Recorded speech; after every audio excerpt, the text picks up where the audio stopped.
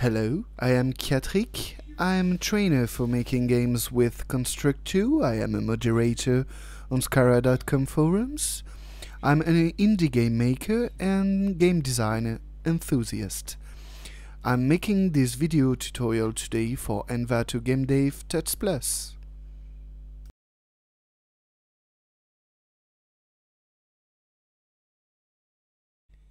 Okay, so before moving on, we have pretty much all of our basic mechanics working at the moment. We have a player, we have enemies, we have enemies spawning in waves, and we have a continuous scrolling in a single layout. So there we will want to add more interface to the whole thing to feel more like a game. So we'll go and have a bit of renaming. Our layout will be now known as level 1 event sheet we will rename as ES I use this prefix for event sheet. And mechanics. And we will actually add a new layout with a new event sheet this new layout we will name title screen and actually put it on top and there we'll rename this ES title screen. So the title screen will be really really simple. So first we'll set up to the same size as the project. We'll change in the layer the background color and put it to black because black black is cool. Add some text there and we will modify the color of the text to white. We will modify the position of the hotspot of the origin point so that it's in the middle. And we will actually expand it over all the size available. Here it is. And horizontal alignment center it and actually even in vertical too. This text we will name text title and the name obviously will be shoot them up. But what is interesting there is that we will be able also in this ES title screen to add an event system on start of layout and we will introduce the web fonts there. So let's go in uh, Google Web Fonts website, uh, google.com slash webfonts, and search for the font name Bitter. Then click Quick Use, slide down, and there all you need is the URL, this one. Go back to Construct, and in the start of layout set web font to so the name Bitter and the URL the one we've just picked up. And there if I just play it you see the font has changed. The font will be different depending on the browser you're looking the project in in the end I set it in action. So let's go and to modify the size there and put uh, 48 we'll add an action with 0 0.1 and add another text to our title screen. And also set the font face there as Bitter in normal to this text object. And this text object will actually be the explanation of our controls. So let's rename it text infos.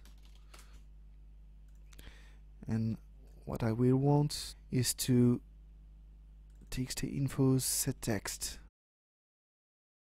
to controls in quotes and add a new line which allow us to jump a line in the object itself.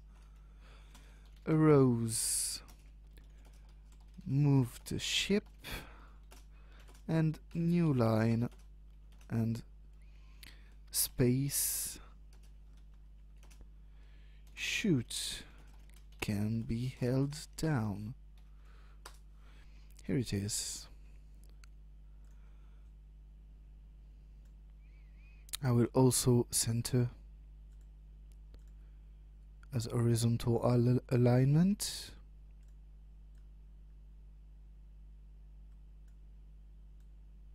Put it more in the middle. And I will want to add another event keyboard on key pressed the key being return.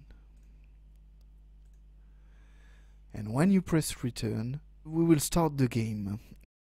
To do we'll have to add a global variable that will name level. Our level by default will also be of course 1 when return is pressed I want to set the value of level to 1 in in case we have already played the game and are coming back to our title screen it will make sure that we are always going back from the start. And system go to layout level 1 because we are sure we always want to go to the first level. And so right now if I'm playing the game press return now I go to the layout of the level and I can play the game. We will have to add some more interface also to our level layouts. So add GUI or HUD or whatever it's the layer that will be at the top and that will hold some informations for the player, some feedback about the score, the current level, and we'll also tell him to press return when the level is finished or when player is dead and so restart the level. So we will add another text object, we'll put it in the top left corner. And set it to white color txt score we will rename this object. And actually in the mechanics in every tick we can add a txt score and first add a global variable score of course which will hold our score. And so every tick in txt score I want to set the text to level and add the current level and add some more information score and add the value of the variable score. I will also want to add a new text object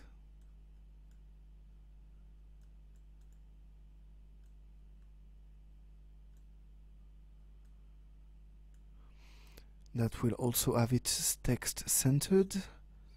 It will be named txt next even if it's not always for the next step.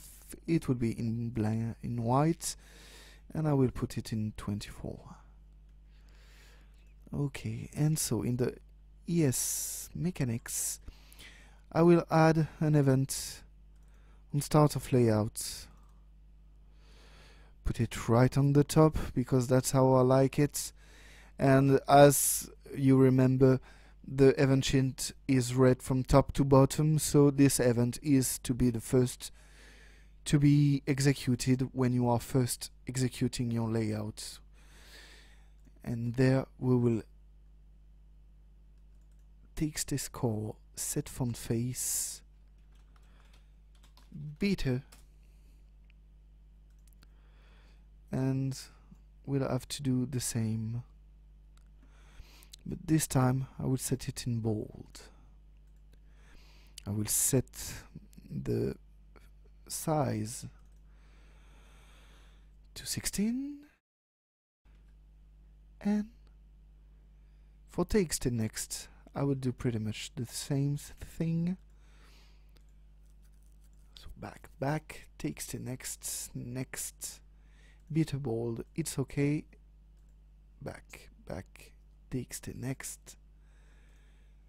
And in 16 it's not really no it's eh, actually it's not about the size right there. It's rather setting it visible actually invisible. On start of layout I don't want to see text next. I want it to only display when it's the correct time. The correct time for that will actually be when an enemy is overlapping the player or and that's where I make a make or block and add another condition a bullet enemy is overlapping the player so this means that the actions will execute either if the an enemy is overlapping the player or if a bullet enemy is overlapping the player. And when this happens, I will want to create a particle dead object because it's always nice. On the level action, in place of the player X and player.y, I will also then want to destroy the player destroy the player. I will also want to set text next to visible. Set the text. Press return. And if I want to use quotes in quotes I will use double quotes. So there return will appear between quotes but to as I'm using uh, actually a string in quotes I have to double quote this word. To start the level again. But what I will also need to do there is to set a specific game state because once my player is dead the action is not immediate. I mean, I'm not restarting the layout as soon as the player is dead, but on the human player's action of pressing return. So I will need another global variable which I will name game state. That will still be number so let me add some comments. So the score is the global score. And the game state the game state will be this way. State of the game.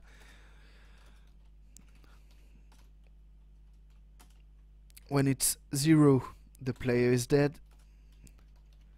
When it's 1 it's in game and when it's 2 it's level 1 and actually I will already add it. 3 equal boss fight.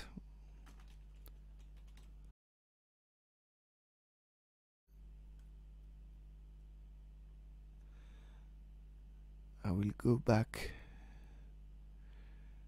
there because I want to keep the several events according to the same ID and so here it's player death and so as I was controlling all what had to do with the player so far